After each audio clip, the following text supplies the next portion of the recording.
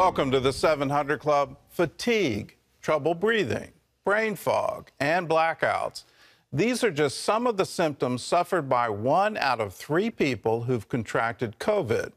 They're also 40% more likely to develop diabetes.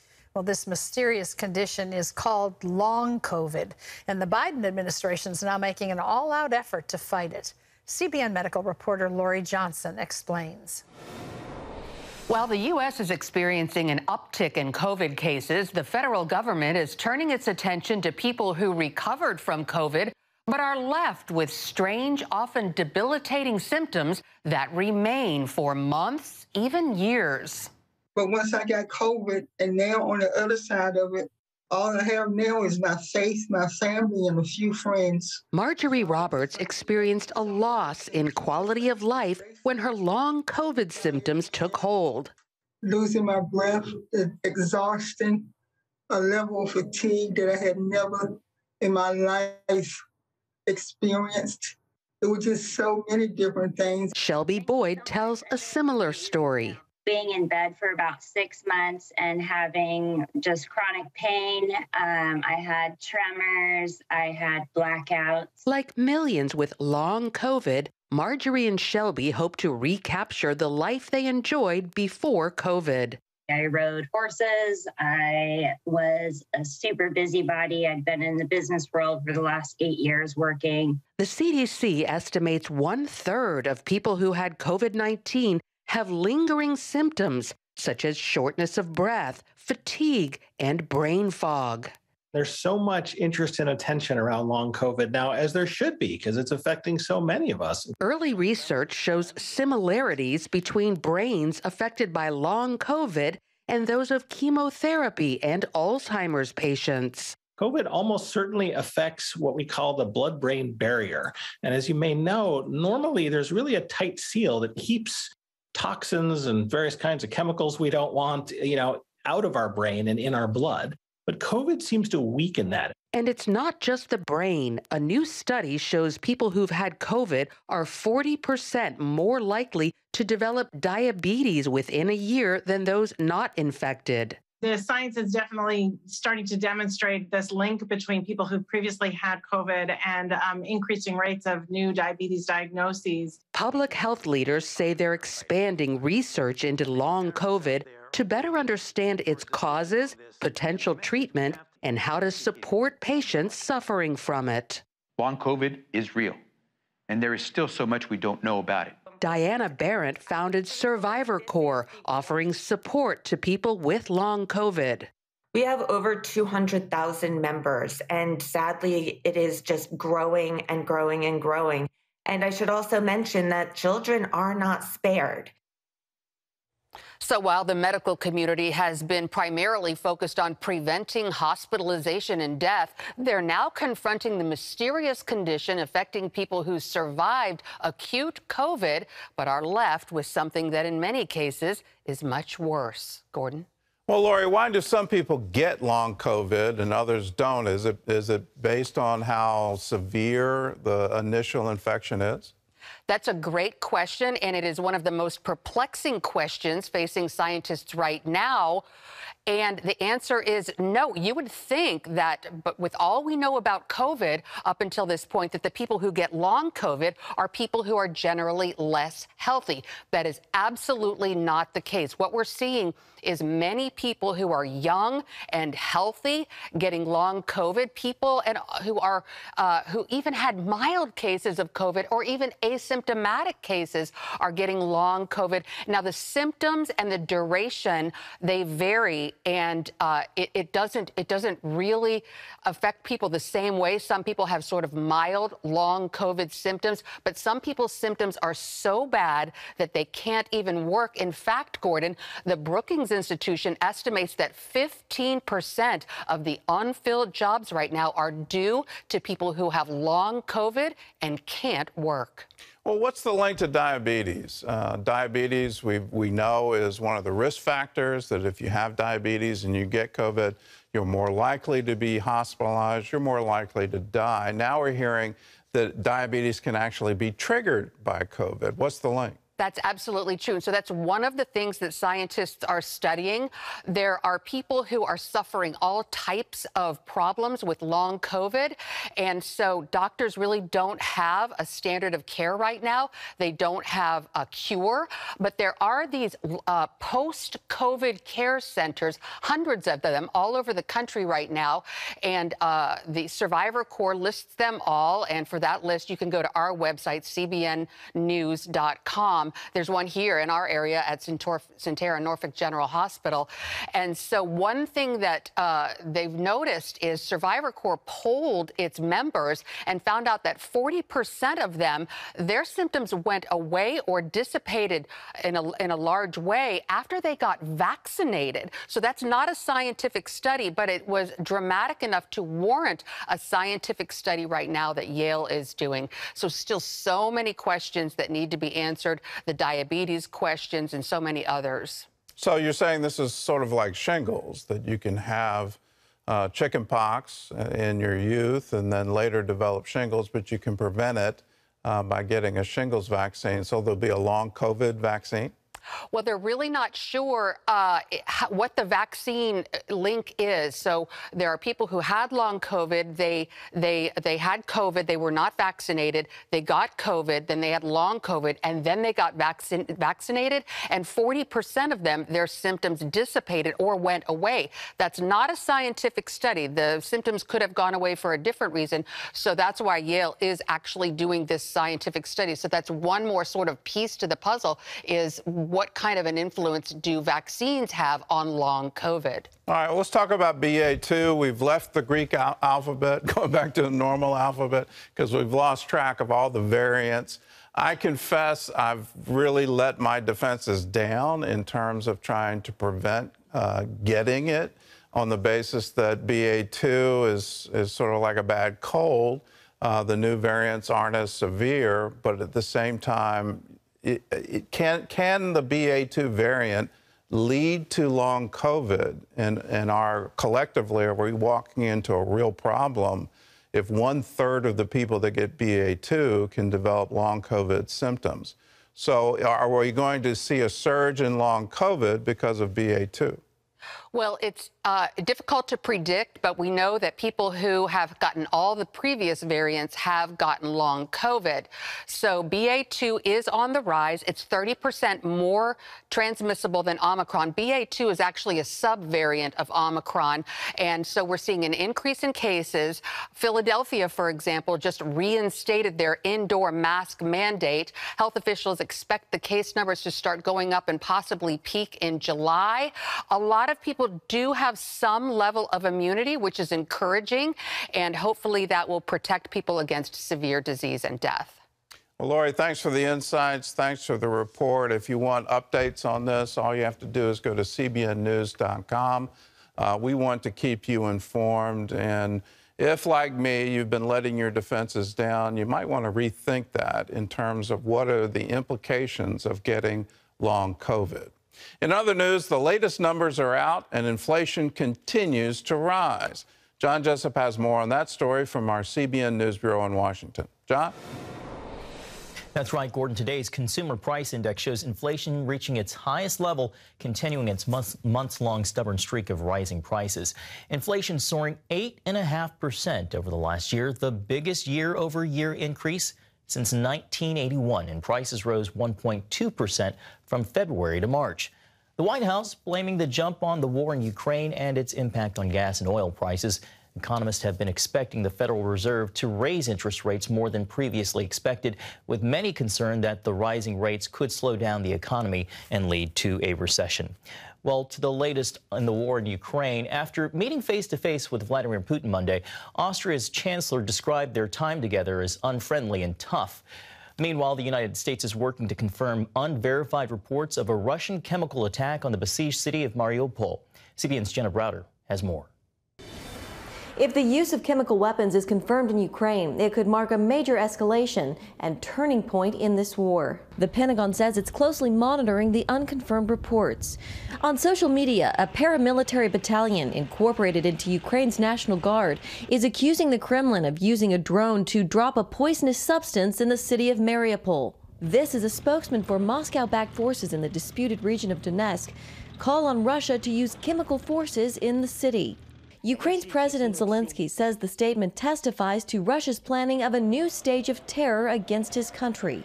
NATO's Secretary General has said this kind of attack would totally change the conflict. And it will be a blatant violation of uh, international law and will have far reaching consequences. Meanwhile, Mariupol's mayor says as many as 20,000 people have been killed in the besieged city. On the diplomatic front, Austria's chancellor is now the first EU leader to meet with Vladimir Putin face to face since the invasion began. The chancellor calling the meeting unfriendly and tough after raising the issue of Russian atrocities. And President Biden met virtually with India's prime minister to discuss limiting Russian oil imports and pressuring Putin to end the fighting. And this week, multiple members of Congress will be in Eastern Europe. House leaders Steny Hoyer and Kevin McCarthy are leading bipartisan groups to meet with Ukrainian refugees in a show of solidarity with NATO and Europe. In Washington, Jenna Browder, CBN News. Thank you, Jenna. Well, more than six weeks into the war, Ukrainian refugees continue to cross the border into Poland. CBN's Operation Blessing is there to greet them with food and a place to rest and recover before continuing on their journey.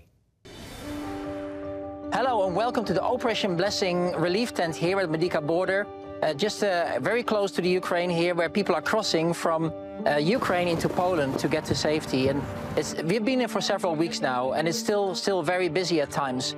Uh, and it comes in waves. And, and today is again very busy, and we are having many more people coming through this uh, corridor to find their way to the buses. And, and while they're making their way, people can come into our tent here, which is uh, a wonderful place for them to recover and to rest and to charge their mobile phones and also to uh, receive hot drinks and hot food, which we're preparing there in our food truck, and also to receive those hygiene kits. And these include uh, like shampoo, um, hand sanitizer, baby shampoo and toothbrushes and other things that will help them as they're finding a place for the night. And we'd like to thank you so much as uh, CBN Operation Blessing partners for your help to make this all possible. Uh, without you, we couldn't do what we're doing. So we're so thankful. On behalf of all the people who are helping, a huge thank you and God bless you. Operation Blessing offering a glimmer of hope in challenging times, Gordon. If you've been a part of the Operation Blessing Disaster Relief Fund, thank you. Thank you for your gifts, for your care and concern for those refugees. We're there in your name when you give to that fund. If you're if you haven't given, I invite you to do it. All you have to do is call us 1-800-700-7000 say I want to give to the Operation Blessing Disaster Relief Fund. You can write to us at CBN Center, Virginia Beach, Virginia 23463.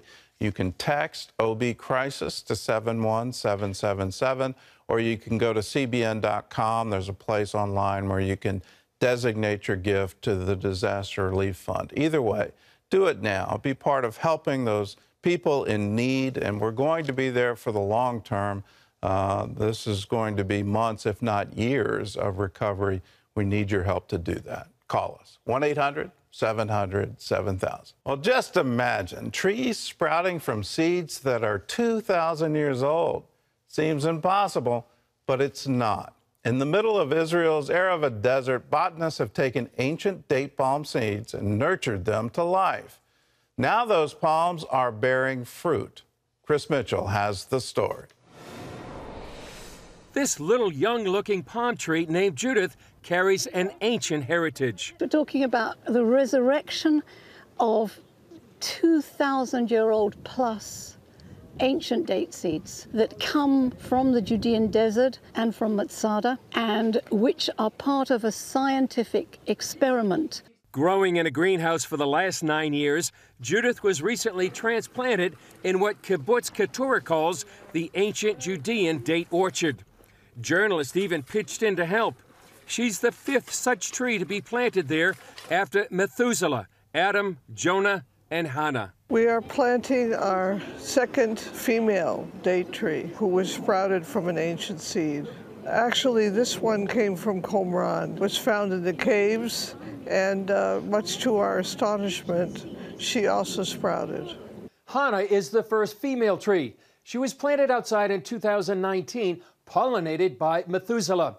Hannah had around 100 dates last year. This year, she had more than 600. Dr. Sarah Sallon, a medical doctor, started this project more than 15 years ago after becoming interested in natural medicine. I wanted to see how medicinal the flora of Israel was and what it had been used for and so on. And then I realized that many of these species had actually disappeared. And we know what there was because it's mentioned in the Bible. The Bible is our guidebook of ancient species. One that disappeared centuries ago was the Judean date. It's mentioned in the Bible as one of the seven species found in the ancient land of Israel we see dates all the way along here, palm trees and all the kibbutzim are growing plants and, and look at the plantations on Keturah. Those date palms of modern day Israel are modern and they were imported after the founding of the state in the 1950s, but they're not the original date tree that grew here. Years ago at Masada, archaeologists found a jar of those ancient date seeds. In ancient times, the classical writers described in detail the dates of ancient Judea. Why? Because they were famous. They were big, they were sweet, they were very dry, that allowed them to be exported all over the Roman Empire, and they had medicinal qualities. Sallon obtained five of those original seeds and gave them to botanist Dr. Elaine Solowey. After devising a method to sprout them, Solowey has succeeded in sprouting seeds found in other places, such as the Qumran caves, where the Dead Sea Scrolls were found. I think the biggest problem is hydrating them because if you hydrate them too quickly, you kill them and you only get one crack in each seed. So far, we have five males and two females, seven altogether. And I've tried lots of seeds and most of them are deader than doornails. 15 years ago, the first tree Solowey sprouted was a male. They called him Methuselah, after the oldest person in the Bible. CBN News got its first look 10 years ago when Methuselah was still in the lab. More than 850,000 date trees grow in Israel. Solowey planted some 3,000 of them on Kibbutz Keturah, where each tree produces around 350 pounds of dates a year. Solowey and Sallon are hoping eventually to add the revived Judean dates to the harvest. We are going to be testing those dates in the future to see actually what they do and whether they differ from other commercial varieties of modern dates. So for the kibbutz, it's a big venture. Dr. Tarek Abu Hamad, director of the Arava Institute, sees this as planting seeds from the past to bear a special kind of needed fruit for the future. If you don't look back to the history, you will not see the future. And here we're actually planting history at the at the Arava Institute. We hope one day that with these trees that came from 2,000 years ago will be the hope of peace in, uh, in our region. Chris Mitchell, CBN News. What an incredible miracle. Seeds 2,000 years old sprouting uh, is absolutely amazing to me. But wouldn't it be wonderful to restore the species that's written about in the Bible that was so fam famous in the ancient world, the Judean date? I'm a real date fan. I love them. I really have a real fondness for the Iraqi Medjool date. Uh, but it would be great to have the Judean date back in the diet. That would be a wonderful thing. So these are just proof that when the Bible says the desert will bloom again, we're literally seeing it before our eyes. We're seeing these things happen. Uh, that this was a wasteland 70 years ago, and now we're seeing it bloom, become fruitful, and fruitful once again. Terry? Helen Smallbone is the matriarch of a musical dynasty that includes recording artists for King and Country and Rebecca St. James. Their journey to hard won success has always been a family affair. Take a look. Helen Smallbone is an author, co founder of Mum Life Community, and a podcast host on Access More. She's also the mother of seven and grandmother to 14. A few of her children include Rebecca St. James, and for King and Country singers Joel and Luke Smallbone. Even though the Smallbone family has known great success, times weren't always easy. During their toughest trials, they learned to work together to not only survive, but thrive. In her book, Behind the Lights, Helen shares their inspirational journey, encouraging you to always trust God regardless of what you're facing. Please welcome to the 700 Club, Helen Smallbone. Helen, it's wonderful to have you with us. Thank you for having me. Your journey as a family has been quite remarkable, but let's go back a little bit to the beginning. Your husband, David, broke into the music business in Australia, and after mm-hmm. some success, what happened? Well, we actually um, promoted a tour back in Australia, and uh, we lost uh, about a quarter of a million dollars on the tour. And we'd had losses before, but nothing like this. And uh, so we knew this was going to be major life change. And so we were looking for other avenues of which to um, sort of continue work because he loves Christian music. And we tried to continue in other avenues. We had two more doors closed and we were basically at a loss as to knowing what to do. So God opened one door and that was to come to America. So we, uh, we arrived in America in August um, 1991 30 years ago. Um, we had six kids. I was pregnant with our seventh, and uh, we had 16 suitcases, and that was our new life. Wow. The beginnings. You, your family of eight came here. You had no car, no furniture, no house, two suitcases per person. Tell me how you managed. I mean, when you, what did you do when you got here? well, fortunately, we we managed to get a, a rental home. Uh, we had no furniture, as you said. We had no car, and you don't survive much in America without a car. We had neighbours then love on us, really. We had the local community love on us. Uh, we had people who would drop groceries on the doorstep. Um, we had a neighbour who would loan us their car. We eventually had somebody who felt that God was telling him to give us their brand new um, minivan. And we just, if people and really, it was the church who furnished our house, who loved on us. If people hadn't loved on us, we would have gone home. We, we were living hand to mouth. The kids were working. Uh, we ended up starting to rake lawns, and that's how we got known by the community.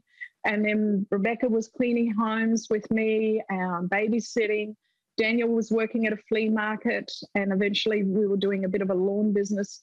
And it was really the kids who put food on the table in those early days until uh, Rebecca got signed. You know, as I read your book, the thing that I marveled about was your ability to all stay together. I mean, a lot of marriages wouldn't have survived that. A lot of families wouldn't have survived that. But as you just mentioned, your children really engaged in what needed to be done to sur survive. Talk about some of the lessons that they learned from the struggle. Well, we really learned to rely on each other. And I think you're on the other side of the world, no family, no friends a few business acquaintances. Uh, we're building new relationships. And so we've just really learnt that we had each other, we had God. So we would gather in the living room um, and just pray for things that we need. And the kids actually saw God provide. And you don't have experiences like that where you see God's provision, where you rely on Him, you see answered prayer. You don't have experiences like that without um, it changing you and it changing you for forever. And really, I think that is the foundation. Our foundation of losing everything and having God give it back is the foundation of Rebecca's career. And then following on that, because the boys started working for Rebecca, Joel, we we ended up being crew for Rebecca, really, because in 1994, when she got signed, uh, we'd only been here a few years. We were homeschooling, we were working together. We realized how much we needed one another. And so when it got time to do tours, David decided that he had a pretty good free crew in the boys, uh, ranging from 14 down to, I don't know, Josh might have been about four. Um, and so we, we ended up going out together and um, Daniel at 14, 15 learned how to do all the lights. Um, ben started to learn how to do sound. We brought in a, a cousin who was about Rebecca's age and they did sound together. So they just ended up learning how to do the ropes. And so it just continued on. Uh, we continued working with Rebecca through most of her career. We traveled with her. And then um, as the boys started being called into doing music on their own, they were Rebecca's support act, as well as Joel was always Rebecca's stage manager, as well as background singer. And that's how really everything got birthed. I want to mention that Luke and Joel actually wrote a song for you, I think appropriately titled Unsung Hero, because you kind of were the glue that held everybody together. We're going to hear some of that as you tell us about it. Talk about that song.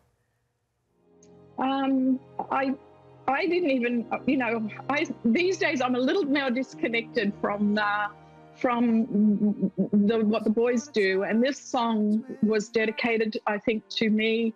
Um, but it really covers the gamut of what a mum does, and she's an unsung hero. Yeah, she really is. She really is. And you really were.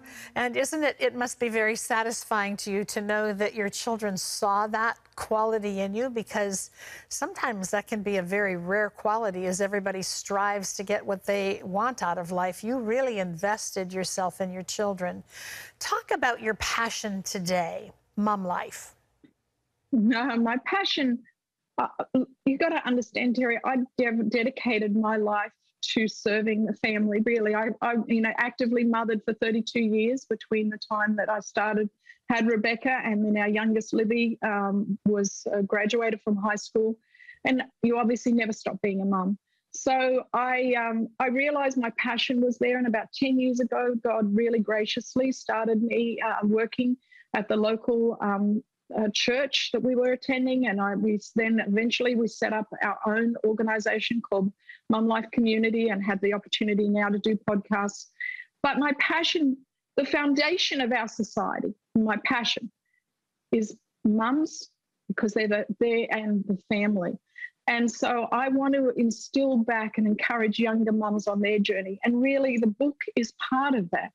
Um, I know that mums need all the encouragement they can get and when they look at our journey, ours was a pretty extreme journey, but God's been faithful and God's been good. And He has led us on a new path that was not our plan at all. But He took us down a direction, and now we can see the fruit from from the my labor, I suppose, being, being faithful as a family, and then we can actually. I want to now instill that in, in other in other mums. Well, there's your family. It's really quite remarkable how really God used you as the core of all of that because your husband was busy off keeping the plates up on the spinning the spinning plates on the sticks. Thank you so much Helen for being with us. I want to let our viewers know that your book is called Behind the Lights and it's available wherever books are sold. Helen Smallbone, what a remarkable family. Great to have you with us. Thank you.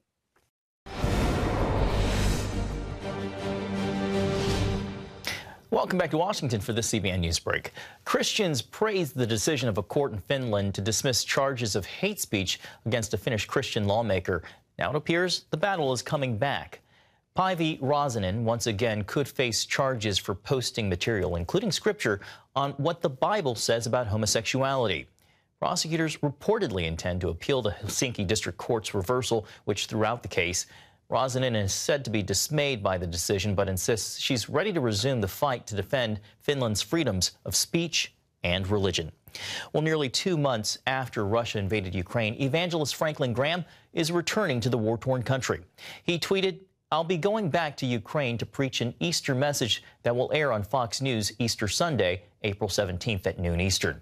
Graham traveled to Ukraine early last month where his humanitarian ministry, Samaritan's Purse, set up a medical facility in Lviv.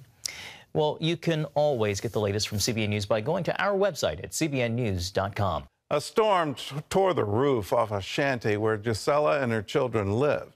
They ran for their lives, fearing the whole house would collapse on them.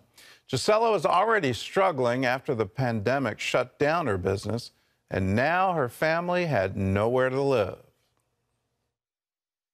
Gisela is a single mom raising her daughter, son, and a granddaughter in a remote community in Peru. Before COVID hit, she earned money for food by selling handmade crafts in a tourist town called Iquitos. When the pandemic hit, all international travel stopped and her business dried up. With that, I support my children. Honestly, when I don't sell, I don't eat. To make things even more challenging, the roof of the shanty where they've been living for 22 years was torn off by strong winds and rain. My oldest daughter started crying when she saw the roof blow away. I will never forget what we went through. All of her clothes and my handicrafts got wet. I thought the house was going to fall down on us. I left everything there and ran to safety with my children.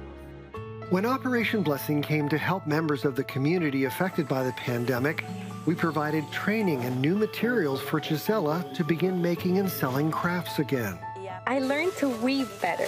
I learned how to make bracelets, bags, earrings, and necklaces.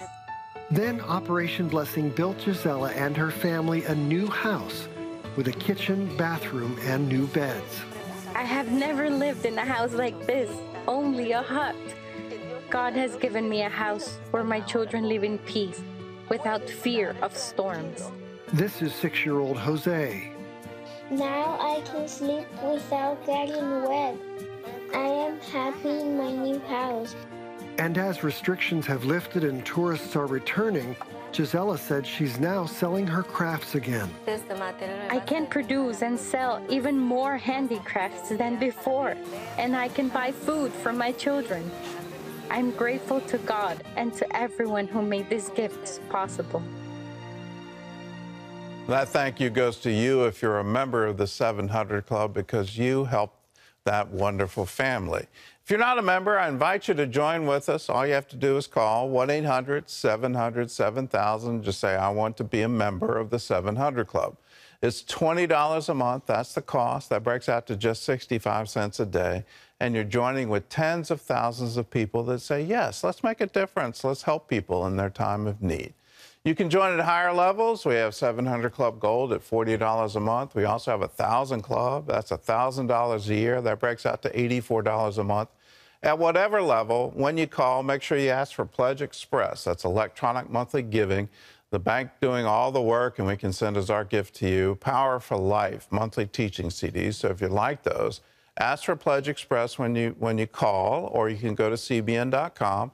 When you give monthly on the internet, you automatically sign up for Pledge Express. We have a new text to give where you can text the letters CBN to 71777. Now, when you call and join, uh, I've got something for you. It's my father's latest book. It's The Power of the Holy Spirit in You. It's yours for a gift of $20 a month or more. I want you to have this. It distills down 60 years of ministry, how he would ask God for direction in his life. My mother and father would get together and pray and pray in agreement and then God would speak to them through scriptures. He would show them what He would uh, wanted them to do, what He wanted CBN to do, what He wanted Regent University to do, what He wanted Operation Blessing to do. It became a bedrock for all that, that grew up over the last 60 years. It's an amazing book, an amazing instruction manual, if you will, so you can understand how to apply God's power in your life. I want you to have it. It's yours when you join. All you have to do is call. 1 800 700 7000. Melanie was eight years old when her house burned down. She and her family had to move into a motel, and that's when Melanie was abducted and sexually molested. She never told anyone what happened, and that buried secret almost destroyed her. All of these things, plus the surmounting pressure of not dealing with anything from my childhood, there was no way forward. I had to take my own life. Melanie Walden grew up with five siblings in a house full of turmoil and abuse. Her parents used drugs and alcohol to cope with life. By the time I was seven or eight, I had been on a motorcycle accident and third degree burns. There was a knife fight between my mother and my brother. One of my brothers shot the other one. It was really dark and scary. When she was eight years old, however, she had the opportunity to attend a Christian camp. I experienced lightness for the first time. So I'm swimming, being loved on. I, I met Jesus, and we had chapel every day, and I would walk forward and sing, you know, um, surrender songs to the Lord and pray that He would save me. The uplifting camp experience was soon erased when she returned to her chaotic life our house had burned down to the ground. And so the eight of us were living in a motel. It was around that time that I was abducted. I was taken into a car. I was sexually overcome. Melanie was let go later that night and never told anyone. She buried that secret trauma and began to form her own coping mechanisms. I was operating even into my adulthood for decades based on lies that had taken hold because of these things that had happened in my youth, that I was worthless, that the sum total of everything in life was really loss. and that no one could be trusted. These kinds of lies um, is what I based my adult life on, really. Melanie tried to escape her broken past by creating her idea of a perfect future. I, you know, just strove for perfection, just had to be the best at everything I did. I had married a man who looked perfect on the outside, kind of checked all the boxes. It just looked like this perfect couple. I went to work uh, and got a position at a corporate job. I was promoted to director of a Fortune 500 company by the time I was 27. She had a son and felt solely responsible to raise him while trying to maintain the appearance of perfection. Before long, the pressure was too much. All of these things, plus the surmounting pressure of not dealing with anything from my childhood, I could see no way forward. There really was nothing else for me to do but to leave, but to escape this life. Melanie was about to overdose on pills when suddenly she felt compelled to call 911. She was admitted to a hospital where she had a nervous breakdown. Soon after, she began making changes, looking for hope. Yet her old ways of thinking were still deeply ingrained. I separated from my husband, ended up getting wooed into a really horrible relationship. And that really started a series of perpetual uh, harm uh, against myself um, through relationships I got into physically abusive and sexually abusive relationships. I thought, well, that's really what life is like, right? Because that's that was my upbringing. Crisis.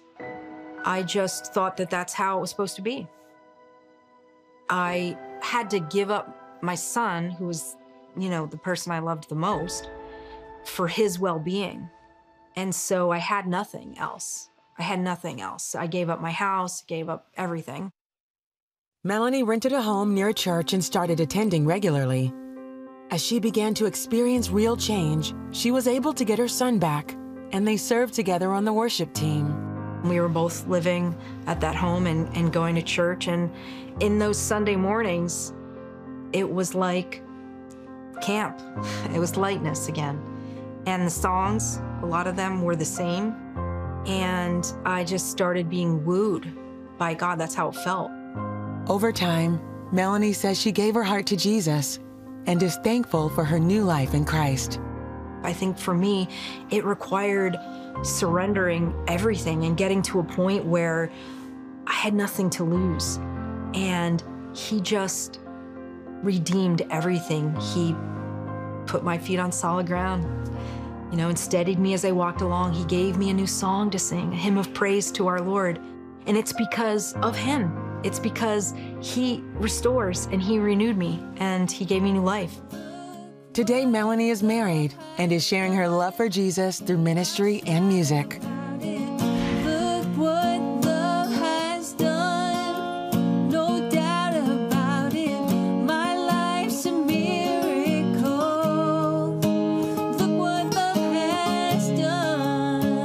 All of this is a gift from God who's brought us back to himself through Christ, and he's given us this task of reconciling others to himself. I am a precious child of God, perfectly and wonderfully made. God wants me to be happy and full of the love of the Father, being fully who he created me to be.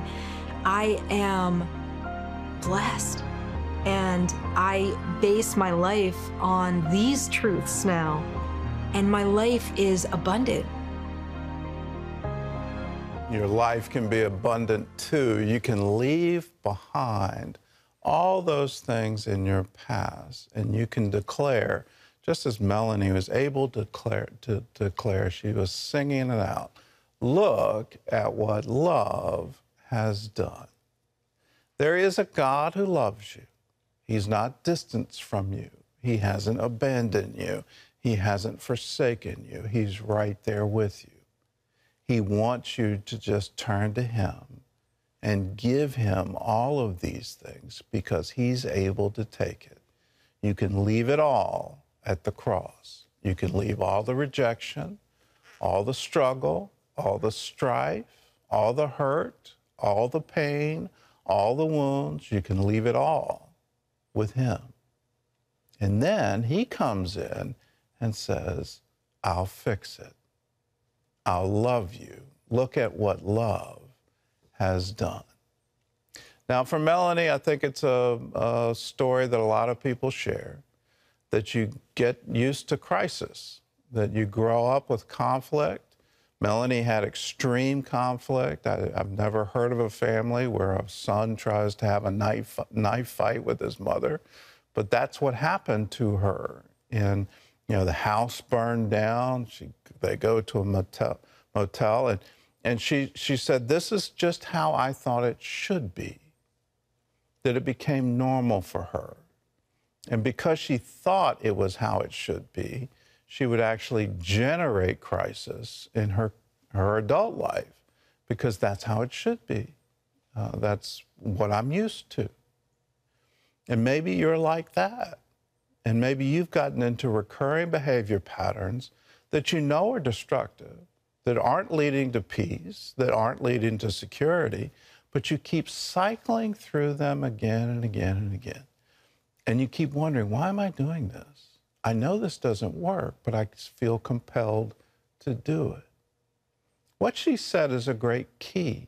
This is how I thought it should be. I challenge you, change that thinking that you can have a life of abundance, you can have a life of love, you can feel cherished by your Maker. Jesus loves you. And here's one of the great revelations I received He loves you tenderly as a little child. He loves you so much, He was willing to die for you. He loves you individually. He's willing to leave the 99. He's willing to leave all of that just for you, the one he seeks you out. He wants you to be with Him for all eternity. And He's willing to melt your heart, all the hardness, all the wounds, all the secret places you've walled off. He's willing to do all of that because He loves you. And He wants you tenderly. All you have to do to get this, to get this revelation, because it is a revelation, all you have to do is ask for it. So, just what Melanie did. You know, Jesus, can you save me? Can you be my Messiah? Can you be the one that I know is with me? Can you open my eyes that I could see it? Could you open my ears that I could hear your voice?